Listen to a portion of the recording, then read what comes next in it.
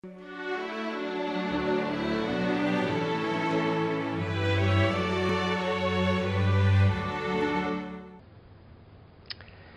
morning. Welcome to Food for Thought. My name is Pastor Clint Lang from Hillside Community Church in 100 Mile House, BC, Canada. Glad you could join me again. It's uh, Thursday. It's hard to believe that this week is flying by so fast. Uh, December the 17th, 2020. And uh, yeah, we're continuing our theme on uh, the joy of the Lord as the third week of Advent um, is upon us. We're focusing in on the joy that comes through knowing Christ. Authentic joy and true happiness is found in God's presence. I, I, love that joy is the very essence of God's character. In 1 Chronicles chapter 16, 27, it's written, Splendor and majesty are before him, strength and joy are in his dwelling place. Psalm 16:11 reminds us that joy and eternal pleasures are found in God's presence. By spending time with God in prayer and searching, searching the treasuries of His Word, we can enter into God's wonderful, joy filled presence and allow His truths about joy to fill our hearts. It's one of the special things about Christmas. When we reflect on the Scriptures, we see all of these truths coming forward on the, on the pages. And King Solomon once wrote in Proverbs chapter 3, 5 and 6 Trust in the Lord with all of your heart, and lean not on your own understanding. In all your ways submit to him, and he will make your paths straight. God calls us to follow him and to trust him and his wisdom, even if it isn't easy and even if it doesn't make sense. But there's one other blessing that we see when we read Bible verses about joy. God promises real joy, not just happiness. When we decide to listen to Him and live by biblical principles, the joy of the Lord truly becomes our strength. King David writes in Psalm chapter 1, verses 1 to 3 Blessed is the man who does not walk in the counsel of the wicked, or stand in the way of sinners, or sit in the seat of mockers.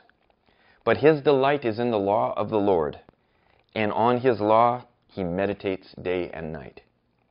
He is like a tree planted by streams of water, which yields its fruit in season, and whose leaf does not wither, whatever he does prospers.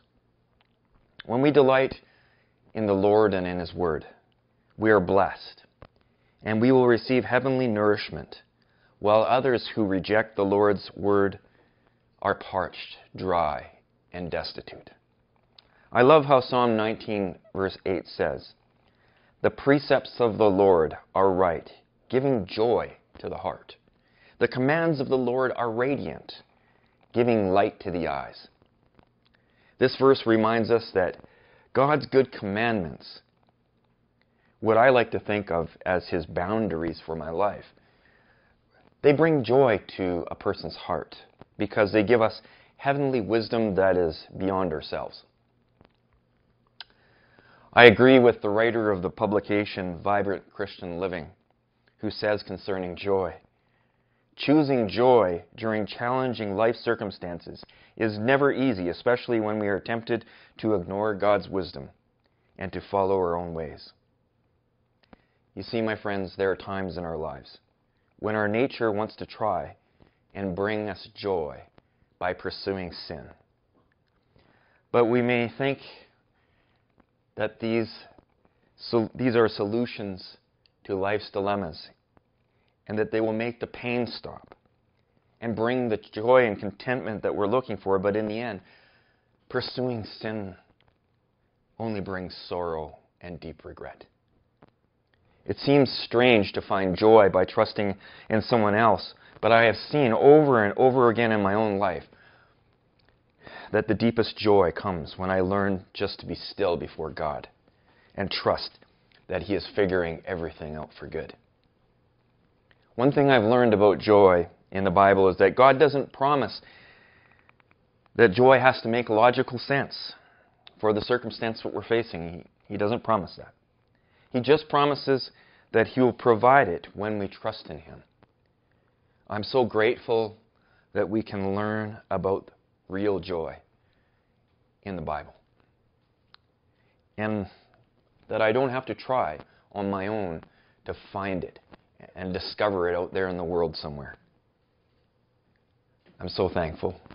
How about you? This is food for thought. Have a wonderful day.